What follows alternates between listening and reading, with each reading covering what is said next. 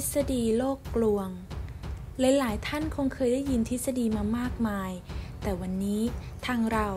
จะนำทุกท่านมาพบกับทฤษฎีที่ฟังดูประหลาดที่สุด ก็คือความเชื่อที่ว่า โลกใบนี้มีเนื้อในกลวง แถมข้างใต้ผิวโลก ยังมีอารยธรรมบ้านเมืองซุกซ่อนอยู่ด้วย เป็นเมืองลับแลที่น้อยคนจะรู้ถึงทางเข้า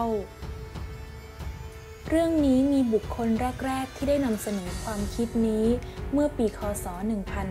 1692 ก็คือเอ็ดมันฮันเล ถ้าชื่อนี้รู้สึกคุ้นหูก็ไม่ต้องแปลกใจ เพราะเป็นคนเดียวกับนักดาราศาสตร์ชาวอังกฤษ ผู้คำนวณเวลาหวนกลับมาของดาวหางที่สุกสว่างที่สุดดวงหนึ่ง ซึ่งได้ชื่อตามชื่อของเขานั่นเอง ฮันเลรู้สึกชงนกับสนามแม่เหล็กของโลก เขาสังเกตพบว่า สนามแม่เหล็กโลกมีทิศทางเปลี่ยนแปลงเล็กน้อยในเวลาที่ต่างกัน เขาจึงคิดว่า โลกมีสนามแม่เหล็กหลายสนาม โลกของเรานั้นกลวง ข้างในยังมีโลกอีกชั้นหนึ่ง ที่มีสนามแม่เหล็กอีกสนามหนึ่ง เพื่ออธิบายถึงความผันแปรทั้งหมดในสนามแม่เหล็กโลก ท้ายที่สุดเขาได้เสนอว่า โลกประกอบด้วยสันฐานกลมสี่ชั้น แต่ละชั้นซ้อนกันอยู่ข้างใน ฮันเลเสนอด้วยว่าายในโลกมีสิ่งมีชีวิตอาศัยอยู่ โดยอาศัยแสงสว่างจากบรรยากาศที่เรืองแสง เขาคิดว่าปรากฏการณ์แสงเหนือ ก็คือก๊าซที่เล็ดลอดออกมาจากใต้เปลือกโลกบางๆ ที่ขั้วโลกเหนือ คนอื่นๆที่ได้รับอิทธิพลจากความเชื่อของฮันเล มักเอาทฤษฎีนี้ไปต่อเติมเสริมแต่งตามความเชื่อของตนเอง ในศตวรรษที่ 18 เลออนฮาร์ดยูเลอร์นักคณิตศาสตร์ชาวสวิส ได้แทนที่ทฤษฎีโลกหลายชั้นด้วยโลกที่กลวงเพียงชั้นเดียว ข้างในมีดวงอาทิตย์ขนาดกว้าง 600 ไมล์คอยให้ความร้อนและแสงสว่างแก่อารยธรรมที่เจริญก้าวหน้า ที่อาศัยอยู่ในนั้น แล้วต่อมานักคณิตศาสตร์ชาวสกอตแลนด์ เซอร์จอห์นเลสลีย์ก็เสนอว่า ภายในโลกมีตะวันอยู่สองดวง ซึ่งเขาตั้งชื่อให้ว่าพลูโตกับโพรเซอร์พาย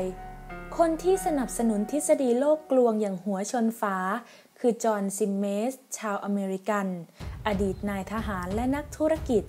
ซิมเมสเชื่อว่าโลกกลวง และก็ที่ขั้วโลกเหนือกับขั้วโลกใต้ มีทางเข้าขนาดกว้าง 4,000 ไมล์และ 6,000 ไมล์ตามลำดับ ซึ่งจะนำเข้าสู่โลกบาดาลได้ เขาอุทิศชีวิตพัฒนาทฤษฎีของตัวเอง และระดมเงินสนับสนุน ให้มีคณะสำรวจเดินทางไปยังขั้วโลกเหนือ เพื่อเข้าไปสำรวจภายในโลก ถึงเขาจะทำไม่สำเร็จ แต่หลังจากที่เขาตายไปแล้ว ลูกศิษย์ของเขาซึ่งเป็นบรรณาธิการหนังสือพิมพ์ ชื่อเยเรมีเรโน ได้ช่วยกระตุ้นให้รัฐบาลสหรัฐ ส่งคณะสำรวจไปยังดินแดนแอนตาร์กติกา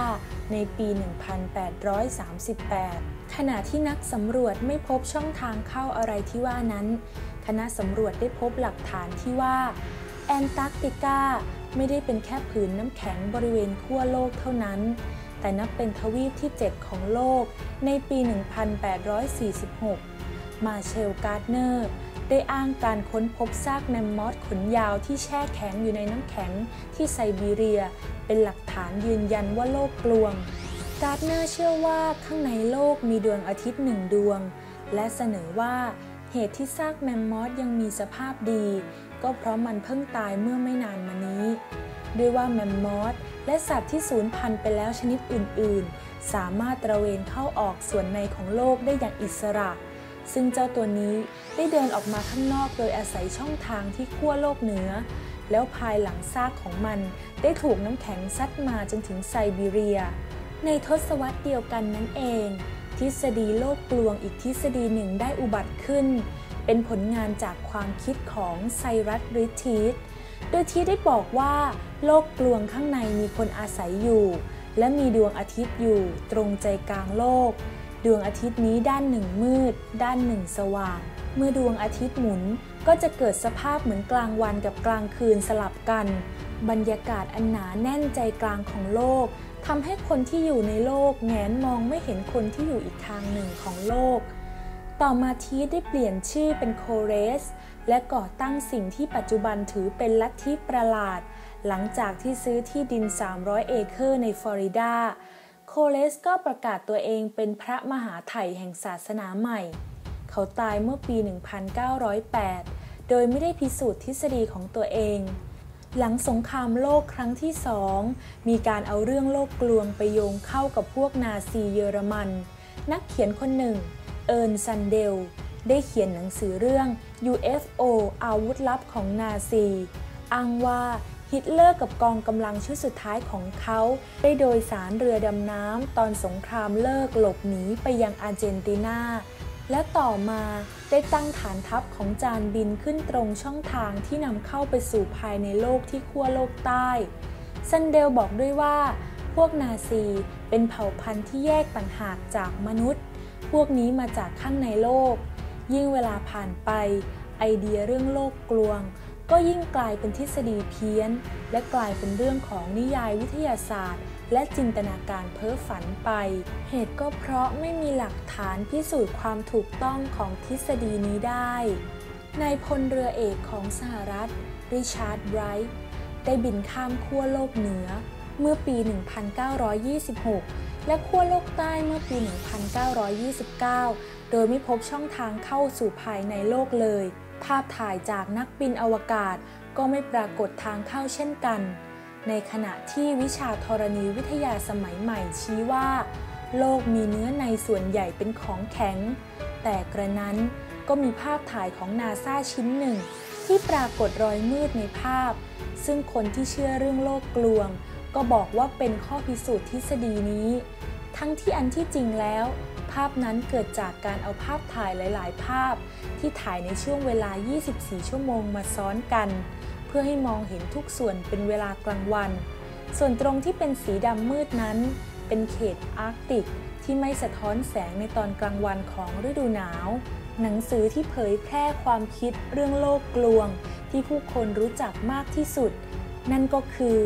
การเดินทางสู่ใจกลางโลกของจูนเวิร์น หนังสือเล่มนี้เสนอทฤษฎีโลกกลวงได้น่าฟัง ด้วยการพูดถึงช่องทางจากผิวโลก เข้าไปสู่โพรงถ้ำใต้ดินที่มีสิ่งมีชีวิตอาศัยอยู่ ในนิยายเล่มนี้ นักวิทยาศาสตร์ 3 คน ได้ปีนลงไปในปล่องภูเขาไฟที่หมดพลังแล้ว เพื่อค้นหาหนทางที่จะเข้าสู่ใจกลางโลก พวกเขาทำไม่สำเร็จ แต่ก็ได้พบทะเลใต้ดินที่มีสัตว์ยุคก่อนประวัติศาสตร์อาศัยอยู่มากมาย รวมทั้งตัวเพลซิโอซอร์ด้วย บางคนเชื่อว่า ลึกลงไปใต้โลก คือบ้านของเผ่าพันธุ์ประหลาด ที่มีเทคโนโลยีก้าวหน้า แต่คนพวกนี้เป็นใครกัน และทางเข้าสู่เมืองบาดาลของพวกเขาอยู่ตรงไหน และทำไม ถึงเข้าไปอยู่ใต้พื้นโลก ความคิดที่ว่าโลกกลวงนี้มีรากเน่ามาจากตำนานโบรโบราณของหลายวัฒนธรรม มักเล่าขานต่อๆกันมาถึงชนกลุ่มหนึ่ง ที่มีอารยธรรมของตัวเอง อาศัยอยู่ในนครลี้ลับใต้พื้นพระสุธา คนพวกนี้มีเทคโนโลยีหรือฤทธิ์เดชสูงกว่าพวกเราบนพื้นผิวโลก บางคนถึงกับบอกว่า จานผีไม่ได้มาจากนอกโลก หากแต่เกิดจากการประดิษฐ์คิดค้นของคนที่อยู่ภายในโลกต่างหาก หากชอบ กดไลค์ กด Subscribe ติดตามกันด้วยนะคะ